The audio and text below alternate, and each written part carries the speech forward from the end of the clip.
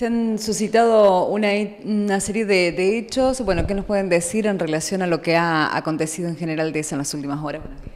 ¿Cómo te va, Nelly? Buen día. Bueno, lo que tenemos en el transcurso de estas fiestas, eh, primero vamos a arrancar con el día 24, martes 24, alrededor de las 19 y 15 años, fuimos informados por personal de bomberos voluntarios que eh, se habría ocasionado un accidente de tránsito. Llegamos al lugar y efectivamente eh, hubo un accidente de tránsito entre una motocicleta y un vehículo. Eh, la motocicleta era conducida por un, por un señor de esta localidad de 46 años de edad. En cuanto al otro vehículo, es un automóvil, un Fiat Uno, también conducido por un, por un señor de esta localidad de 49 años de edad, quien iba acompañado de, otra, de otro sujeto. Este accidente sucedió en lo que es calle Chaco y La Aprida, luego de, de que fue impactada la moto, la misma colisionó a su vez con otro vehículo que estaba estacionado en lo que es calle Chaco. La motocicleta se conducía por calle Láprida de sur a norte, en cuanto al vehículo también en el mismo sentido, y por causas de establecer, los mismos colisionaron. A lo que una vez que después de ocurrido dicha colisión, se llamó a personal de tránsito, quienes hicieron el control de colemia a cada uno de los conductores, arrojando resultado positivo al conductor del vehículo. A posterior del hecho se le consultó a la señora jueza de paz, en este caso a la doctora Eugenia Robeto, que estaba de turno ese día.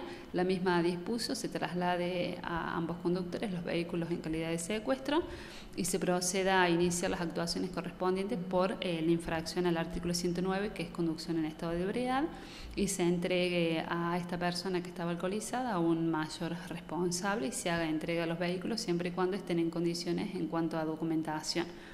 Eso fue lo que tenemos el día martes, más allá de algunos hechos de violencia familiar, que también se han labrado algunas denuncias por, por esta ley de, violencia de, de género.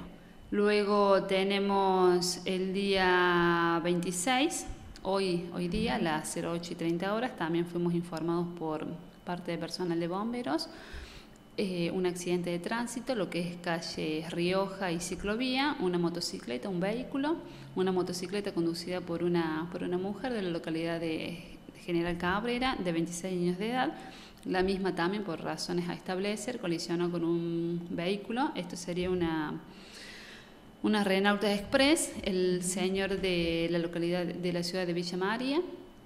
Ambos conductores, bueno, también se le hizo el control del colemia, arrojando resultado negativo en ambos. La chica sufrió algunas escoriaciones en su cuerpo por la caída, son lesiones de carácter leve, se procedió también el secuestro de ambos vehículos, pero eh, la, mujer ya se encuentra en buenas condiciones de salud, fue solamente, como te decía, eh, lesiones de carácter leve, por lo que eh, se le toma una exposición a, la, a esta mujer y se hace entrega de los, de los vehículos. Después tenemos un hecho en la zona rural, en la madrugada de hoy, a las 5 horas, 5 y 30 horas aproximadamente.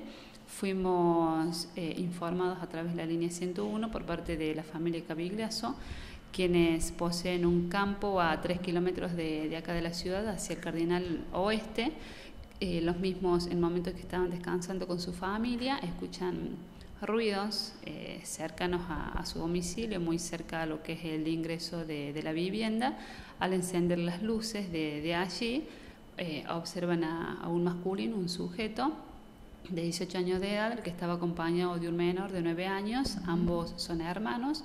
Uno, el mayor tiene domicilio en esta ciudad y el menor eh, me parece que en la localidad de Las Perdices.